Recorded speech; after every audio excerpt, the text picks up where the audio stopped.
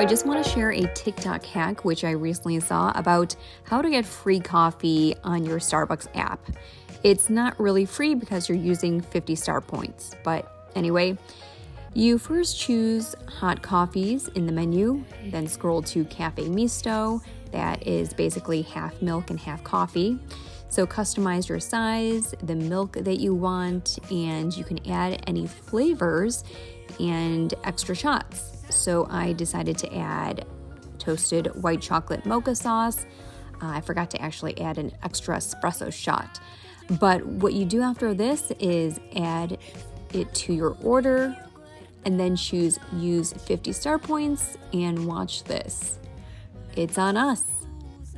Checkout total is zero, place order.